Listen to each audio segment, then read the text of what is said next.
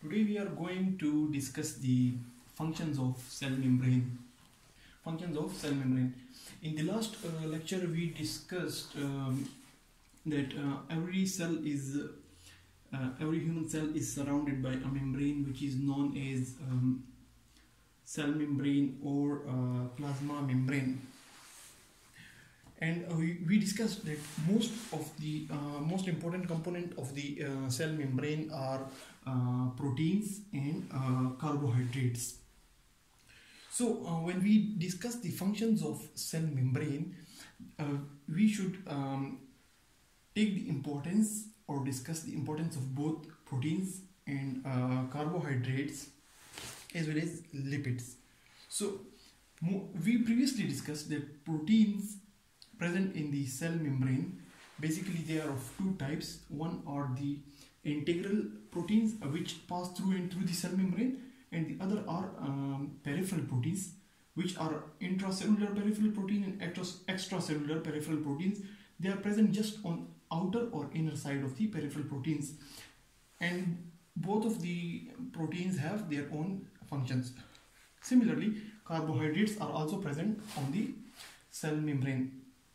The functions of proteins include integrity of the cell to make it a specific structure.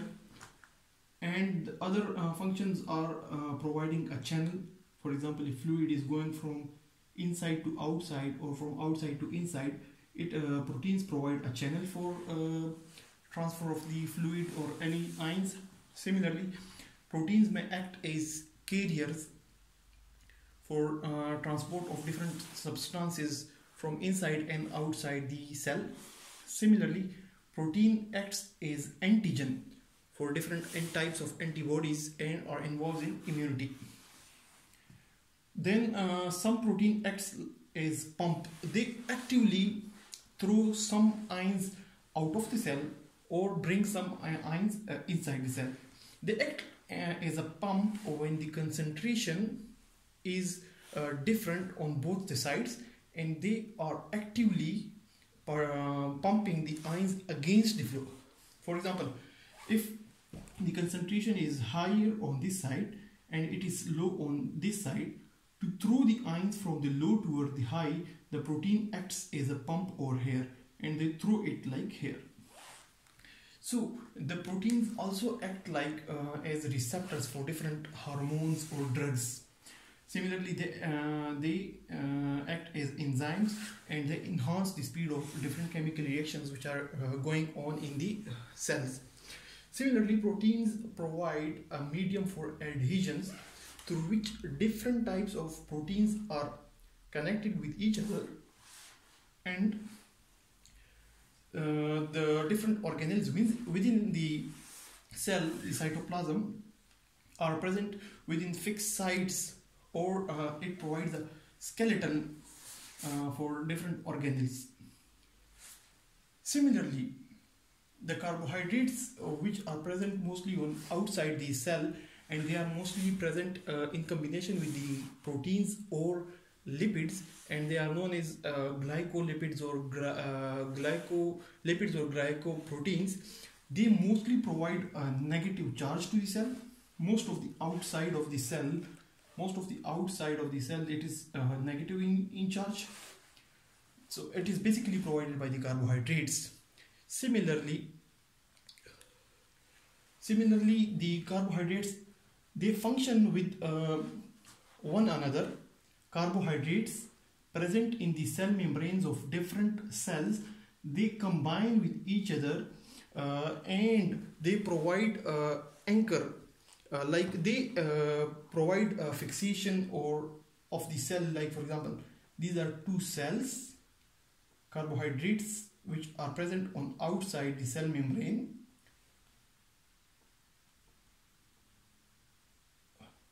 All the carbohydrates present on the outside the cell membrane they together constitute a, substance known as um, glycocalyx this uh, glycocalyx of different cells combined to fix the cell. Uh, for example, when the glycocalyx of this one cell interact with the glycocalyx of this another cell, they will uh, provide some fixation to the cell and they will be present in one side and they will not be moving from one uh, side to the other.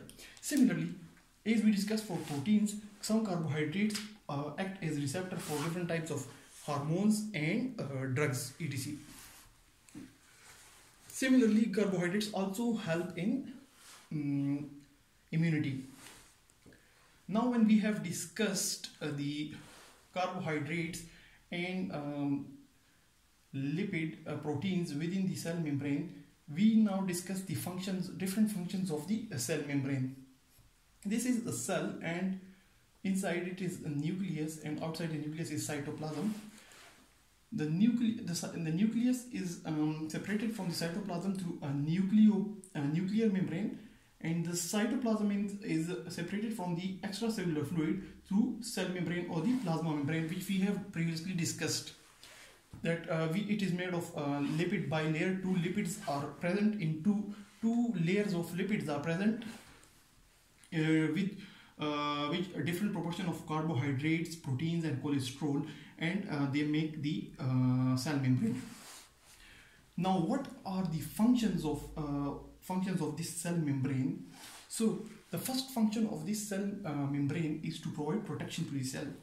It will protect the cell from different types of environmental hazards like uh, uh, if uh, there is dehydration or infection or any sort of stress to the cell.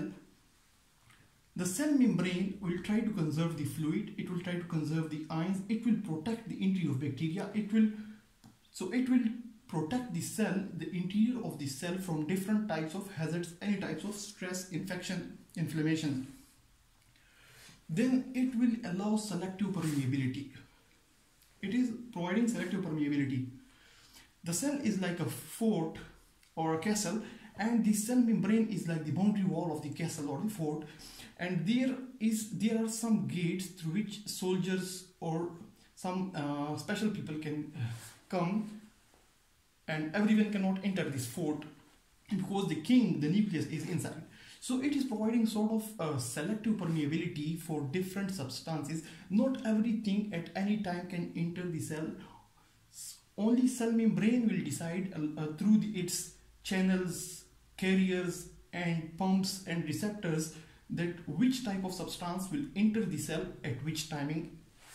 Then cell membrane or plasma membrane helps in the absorption of nutrients. We previously discussed that uh, um, proteins or carbohydrates they are present within, uh, within the plasma membrane and they help in absorption of the uh, different nutrients from outside to inside. But apart from the uh, proteins apart from the proteins and carbohydrates the cell membrane itself may help in absorption of those substances which are lipid soluble and which can pass from outside to inside or from inside to outside through the plasma membrane. So it is also helping in the absorption of some nutrients. Then uh, it helps in excretory functions like if some um, ions or food substance enter the cytoplasm, through the help of mitochondria, energy is uh, extracted from the food substance, food, any type of food substance, it may be glucose or amino acid or anything. And then the uh, the waste material it is excreted from the cell through the plasma membrane or the cell membrane. So not only the cell membrane or plasma membrane is helping through uh, for the absorption of the fluid but it is also helping in uh, excretion of the uh, uh, waste material as well. And then plasma membrane is helping in the exchange of gases different sort of uh, gases like carbon dioxide and uh, oxygen. They may enter directly through the um, plasma membrane. So plasma membrane is, uh, plasma membrane or uh, cell membrane is helping uh, in exchange of the gases as well.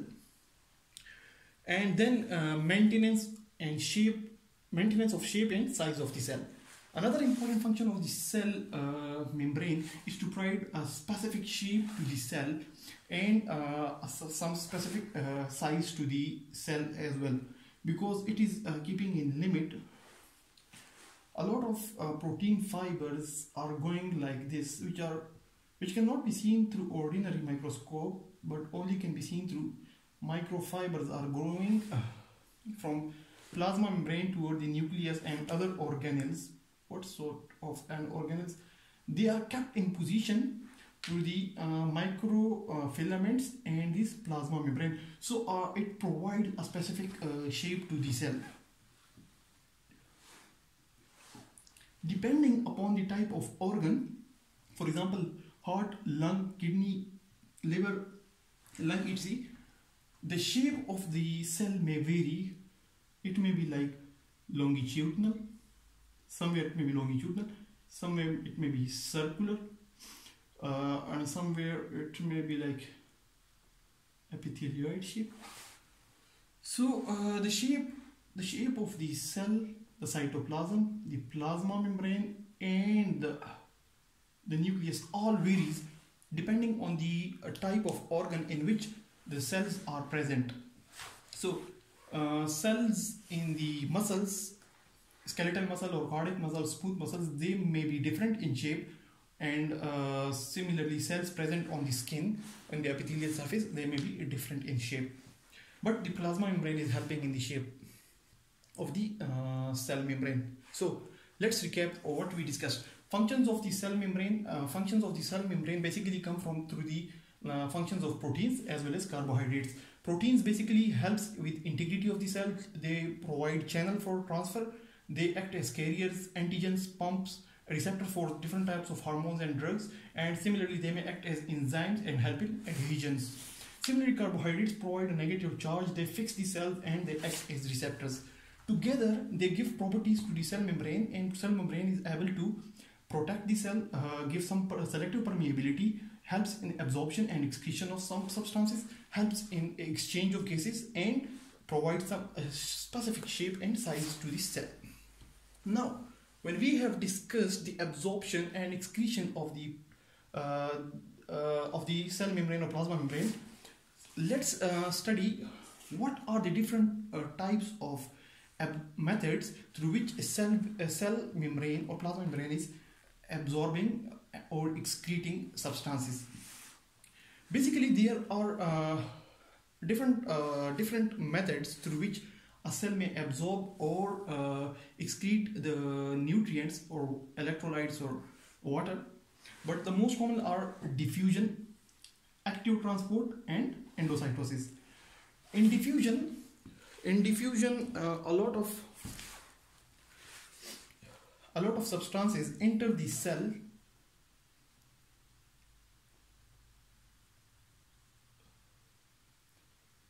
just passively without uh, utilization of energy. For example, this is the extracellular uh, fluid. Some substance is present in uh, greater quantity outside the cell and it is uh, in less quantity inside the cell. So uh, it will pass uh, through the cell membrane it will pass through the cell membrane and will come inside the cell. Similarly, some substances may be present in greater amount inside the cell.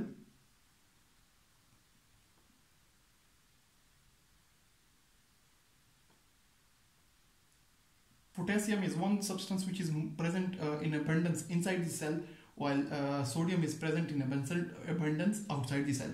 So, for example, it is potassium, it may go out from the cell directly through directly. And uh, it this is uh, this is just for example uh, the exact mechanism is not like this. A lot of uh, a lot of steps are involved. This is just for understanding that through diffusion the substances which are present outside in greater concentration they just passively go without active involvement or in utilization of energy. Then another method is active transport. In active transport some sort of subs, uh, some sort of uh, transporter in the form of protein or carbohydrate is needed which will which will actively throw which will actively throw those substances which are present inside or outside in lesser quantity it will throw it against the gradient. It will throw it against the gradient. If the substance is present in greater amount then it uh, it is understandable that it will easily come inside because the concentration is low. But if the substance is in present in low concentration inside the cell and they, it wants the cell wants to get rid of this substance and it is already present outside in abundance then active energy is needed and some transporter and carriers in the form of proteins carbohydrates and lipids they are needed to throw the cell out of the uh, throw sorry the ions or any nutrient out of the cell or uh, bring it inside the cell with the help of energy. So these are basically two methods. One is diffusion and the other is active transport. Diffusion is without energy and active transport needs energy. Another very important function of the cell membrane is uh, taking in uh, substances through endocytosis. Endocytosis is slightly different from diffusion and uh, active transport. And uh, basically this is of two types. One is pinocytosis and the other is phagocytosis. Pinocytosis is also known as like uh, cell drinking. It is the taking in of the fluid substances. And phagocytosis is also known as uh, cell eating like a cell is eating some substances. There is a slight difference between uh, both uh, of these uh, two um, methods. Both are uh, types of endocytosis but in pinocytosis pinocytosis uh, it is uh, basically performed by most cells in the human body. And through this method large macromolecules like proteins they will go inside the cell the steps involved in pinocytosis the process by which the cells will take these large macromolecules are discussed here.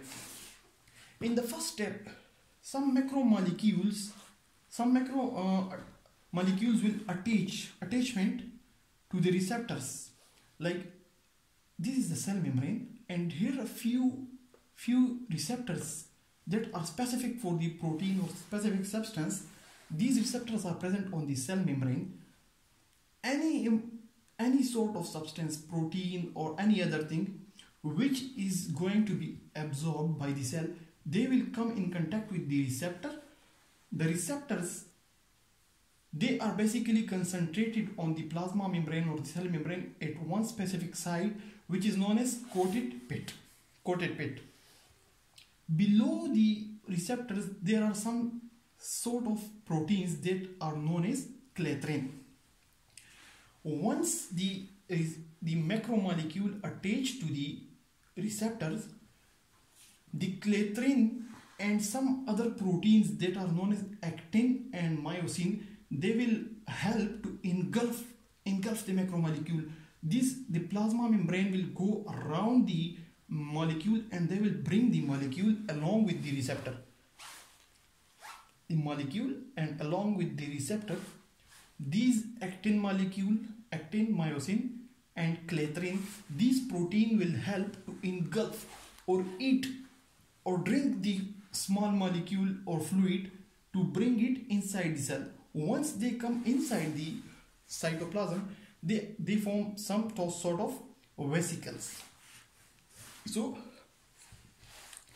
macromolecules come, they contact the receptors which are concentrated on coated pits and with the help of clathrin, actin and myosin which are present below the uh, at the sort at the site of coated pits the uh, molecules are engulfed and uh, vesicles are formed.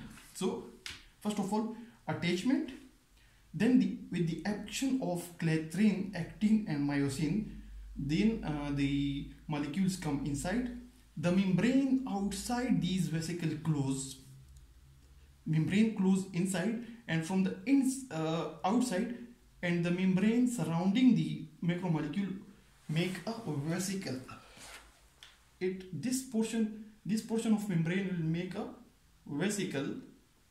It will make a vesicle inside which the uh, substances will be present any macromolecule which has been absorbed will be present but you should remember that there is role of ATP. ATP is basically some substance which provide energy to the cell and calcium.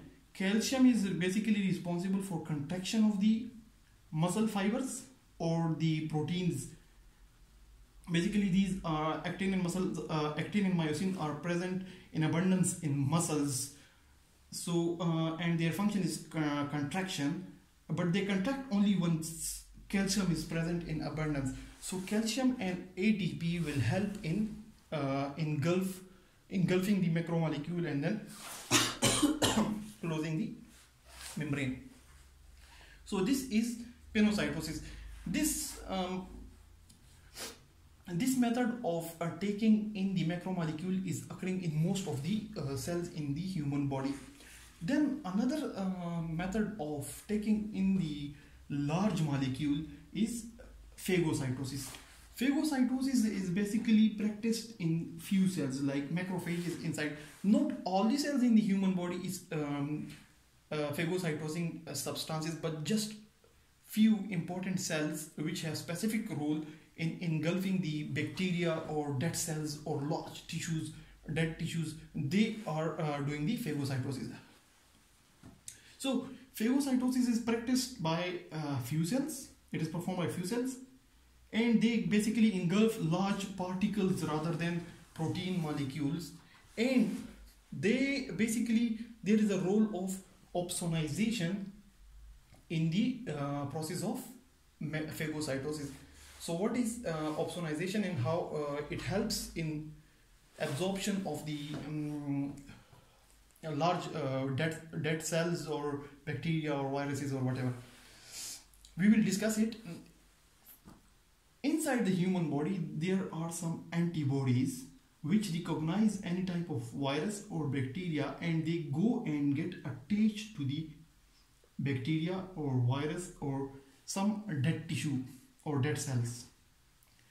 These antibodies when attached to the bacterium or virus or any dead cell, they will bring it to the specific cell like macrophages and they will get attached to the receptor which is present on outside the cell or plasma membrane. So the antibody is basically forming a bridge between the receptor and the antibody or the dead cell. And this process, this process of attachment of antibody to the dead cell or the bacteria or the virus, this is known as opsonization. Opsonization with the help of anti antibody basically helps in absorption of large cells, dead cells, bacteria or virus through cell membrane. When the antibody attaches with the receptors, the receptors along with the antibody and the specific bacteria or any antigen is taken inside the cell. Then uh, as we uh, discussed in the uh, pinocytosis, the outside uh, membrane they engulf this and uh, they attach the outer membrane uh, then attaches and a vesicle another vesicle is formed inside the uh, cytoplasm once the vesicle is formed inside the cytoplasm a lot of enzymes which uh, are present in the cytoplasm they will come and they will be released within the vesicles and they will digest or kill the bacteria or virus or any substances. When or in the case of pinocytosis, when a macromolecule is absorbed, the different sort of enzymes from lysosome will come, they will digest the food particles or in the case of phagocytosis, they will kill the uh, bacteria or virus and the waste material, they will go outside the cell with uh, through the post up through a process known as exocytosis. So we will uh, recap it again. Cells cells basically absorb substances through diffusion, active transport or endocytosis. In diffusion, uh, different sort of ions or substances go inside or outside the cell without the help of any energy. In active transport, substances go in or go outside the cell with the help of some energy. Energy is required for the process. And in endocytosis, large molecules or cells or bacteria or any sort of antigen are taken inside the cell. Endocytosis is again of two, two types. One is pinocytosis, which is occurring in most cells of the human body, and uh, through pinocytosis, large macromolecules like proteins are taken inside Energy is extracted from them and the waste material is thrown outside the cell. And in phagocytosis, uh, which is uh, not present uh, this is not performed in by all the cells in the human body some some specific cells they uh, take in large antigens and they uh, through, with the help of antibodies and they digest it kill the uh, kill them kill the any foreign antigen and then the waste material is thrown outside so that's all about the functions of cell membrane uh, we will summarize it uh, shortly and then we will uh, finish the lecture. We previously discussed a cell membrane or plasma membrane is uh, um, made of two layer of uh, lipids uh, which is also known as lipid bilayer. Interspread within the lipid bilayer are proteins and carbohydrates, cholesterol, etc. Protein may be of integral protein or peripheral protein and they may act with the integrity of the cell. They may act as pump channels they may provide carriers and they may act as antigens, may act as enzymes and help in addition of one cell with the other. Carbohydrate provide a negative charge. They help with fixation of the cells and they act as receptors for different substances then uh, together they give some properties to the cell membrane and with the help of these substances the carbohydrates the proteins and cholesterol the cell membrane is able to protect the uh, cell uh, it allows selective permeability it helps in absorption of nutrient substances and it helps in excretion of waste material it helps in exchange of gases and it gives some uh, some specific shape and size of the cell and then uh, we have uh, discussed in detail uh, how the cell absorbs and excrete uh, different substances. If most of the substances will be absorbed uh, and excreted through diffusion, which will not need any energy or specific mechanism, uh, and it may be uh, help. it may be with the help of energy, which is known as active transport, and then a specialized uh, process known as endocytosis which is of two types one is pinocytosis for large macromolecules which is present uh, uh, in most cells of the human body and then phagocytosis which is uh, performed by just few uh, specialized cells in the human body for uh, absorbing and killing large cells Uh, dead cells uh, bacteria or any sort of antigen. Th that's it. Thank you